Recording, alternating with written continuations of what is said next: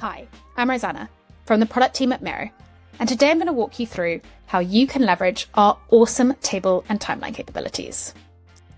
Now, let's face it, the start of a project can quickly descend into chaos. I have a board full of stickies, ideas, and screenshots everywhere.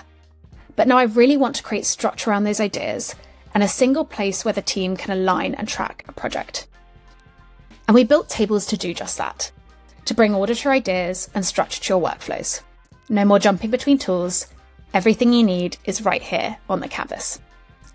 And it's super easy to get started with tables. I can easily create one from scratch using templates, or from directly within my team space, or via the Discover menu, like this. And so tables are perfect for when you're moving from that unstructured work into a structured table. As you can see, I can really easily drag and drop stickies, Jira cards, or cards directly into a table. But we know that sometimes bits of the project start outside of Miro. And so we've also made it super easy for you to paste from CSV to create a table directly in Miro. I can then go into this table and customize it accordingly, like this. Like I said, tables are super customizable, so you can create the perfect table to your use case and needs. Here is an example of a table I created earlier. As you can see, we have a whole host of custom fields from you to choose from. In this example, I've used the multi-person field to create a RACI, and the link field to link to the relevant docs for each part of the project.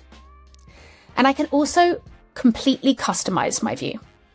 I can do this by applying filters, sorts, or by grouping. In this example, I'm going to group by team to see how the work divides across the different teams working on this project. Now, I'm ready to share this data with my team for feedback. But as you can see, this board is pretty busy, and I just want them to give feedback on this specific table. So, I set this table to a default view. What this means is anyone who comes to this board lands directly within this table into this focus mode, no longer distracted by the messiness on the board. Now, onto my favourite feature. As we all know, depending on the stakeholder or meeting, we might want to create a customized view of our plan. And with synced views of tables, I can do just that.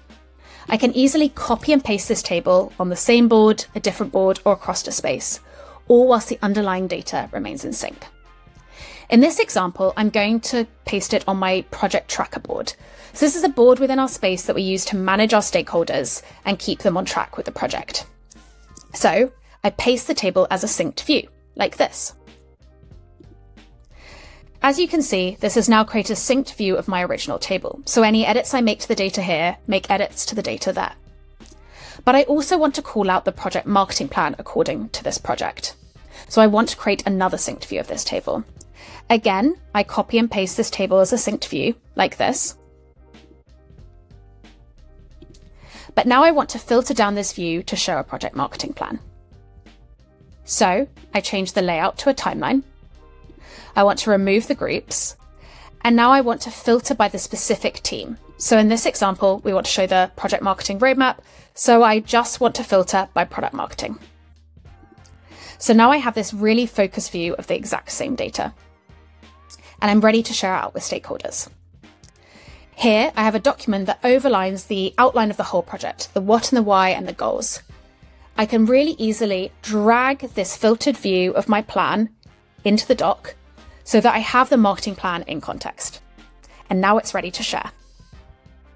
So, whether you're keeping your team aligned and on track, or making sure everyone's on the same page, tables help you transform chaos into structure, keep things flowing, and make collaboration that much easier.